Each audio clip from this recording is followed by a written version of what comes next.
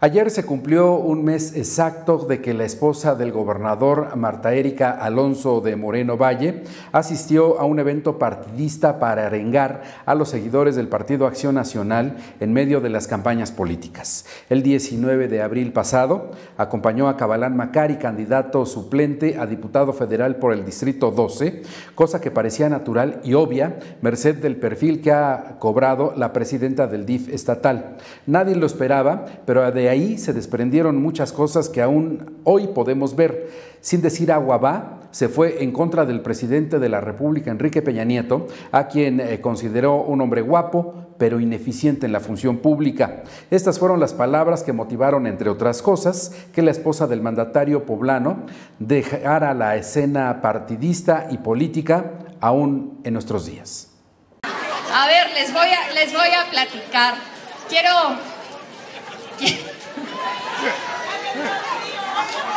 a ver, señoras, tranquilas, tranquilas. Yo sé, yo sé, yo sé, les voy a decir algo. Yo sé que nuestro candidato también está guapo, ¿o no? Pero, pero, ojo, no nos podemos dejar llevar por lo guapo. ¿Qué pasó la vez pasada? ¿Cuánta gente en la elección presidencial dijo, ay, yo voy por este porque está bien guapo? Y ahí está lo guapo. ¿Y de qué nos sirve lo guapo a los mexicanos? De nada. Entonces, si está guapo, si no le vamos a negar que está guapo el candidato, pero eso no es lo importante, eso no es lo principal.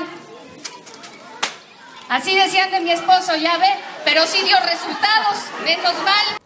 Las consecuencias de este breve discurso de apenas unos 54 segundos se puede medir en el impacto en la web, el espacio virtual en donde están sucediendo muchas cosas, en donde se discute de manera pública los asuntos de interés general. Si usted llega a teclear en Google, Marta Erika Alonso critica a EPN, se va a usted a sorprender. Más de 42 mil eh, resultados va a ofrecerle este buscador, que es por cierto el más popular en la web. La consecuencia más grave para el gobernador Rafael Moreno Valle vino casi 15 días después, con la ausencia del presidente de la República en el desfile del 5 de mayo y todo lo que ello implica.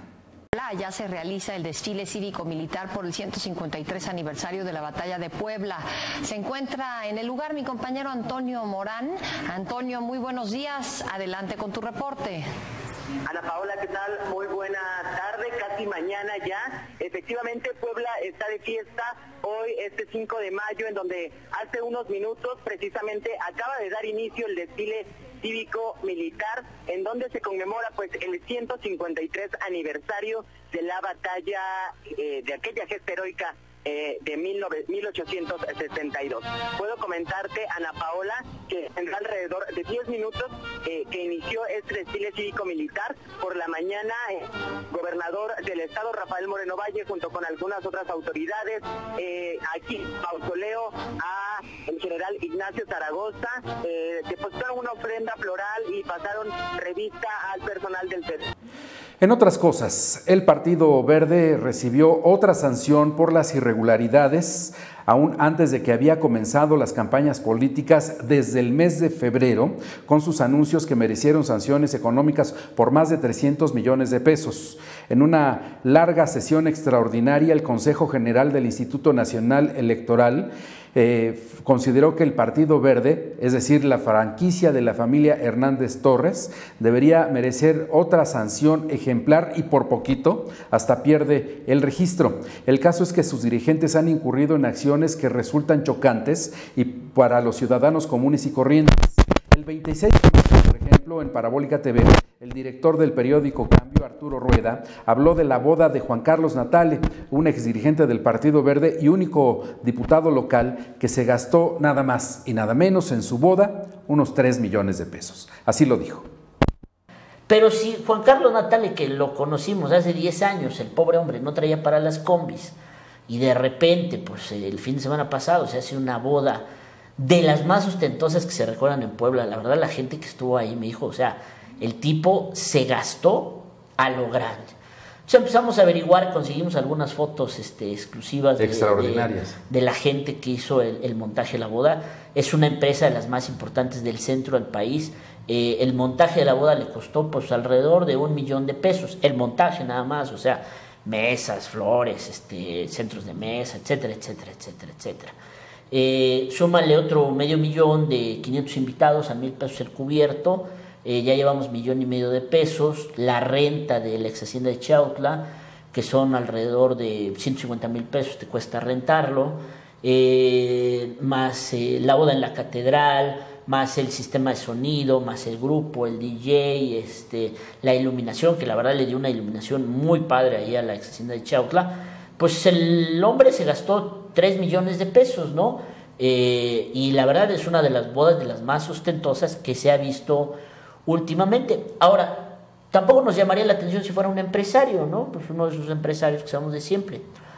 Pero por algo, eh, Ricardo Rafael, en su libro este del Mi Reinato, este, el que yo recomiendo ampliamente, dice que estos mis reyes son una élite, pero la élite de la estupidez.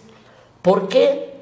Porque si Juan Carlos Natale tuviera un poquito de cerebro, un poquito de idea, tendría que entender que su partido está creciendo en las encuestas, ¿no? Junto con el PRI, pues pueden lograr el 38, el 40, el 42% que necesitan. Tendría que entender que su partido está bajo fuego en este momento por todas las ilegalidades que han cometido, ¿no? Bueno, le acaban de aplicar una multa por casi 70 millones de pesos. Sí, bueno, pero ya súmale en multas y ya lleva como 120 millones de pesos. Así o sea, es. porque estos hombres hicieron, eh, entraron a la campaña por adelantado y se eh, el arco del triunfo. El árbitro fue lento, fue omiso, pero bueno, ya llevan como 120 millones de pesos en, en- en multas. El afán modernizador del gobierno del Estado en el territorio poblano volverá a ser motivo de escándalo nacional. El Centro de Estudios Universitarios eh, Cinematográficos, el CUEC, de la Universidad Nacional Autónoma de México, produjo un documental en la zona de Cholula que lleva como título Luz bajo la tierra, la destrucción cholulteca. Este es un avance del trabajo de unos 20 minutos que escribió y dirigió el alumno Juan Manuel Ramírez y que de manera íntegra usted lo podrá ver mañana en este mismo programa. Vea usted. Queremos seguir siendo el estacionamiento de San Pedro Cholula, queremos seguir siendo el- los sanitarios de San Pedro Cholula cuando tenemos la posibilidad de aterrizar un proyecto que va a dejar derrama económica y que es viable para los sanandreseños. Yo les pregunto, Hay, algo bien importante que tenemos que tener una visión más clara. ¿sí? La, la, la, la asignación del proyecto de las siete culturas no les atañe a San Andrés, a Santa Isabel ni a San Pedro Cholula. Es una parte medular donde están las raíces, donde están las tradiciones, donde, donde tenemos más de 800 años antes de Cristo, donde empieza, donde empieza la cultura cholulteca. Poner una plancha de cemento es inundar y, y- y echar por tierra lo que hay siglos allá abajo. Entonces, no podemos decir ni puedes personalizar para decir, es que esto es de los san- sanandreseños. No, esto es un patrimonio mundial, es un ícono mundial y lo quieres echar para hacer un, un parque temático. Transmítale, señor licenciado, al gobernador del estado que deje en paz al municipio de San Andrés Cholula. A todas las cholulas que lo deje en paz. Quiere hacer obras, pero que haga, haga obras con el consenso de los ciudadanos.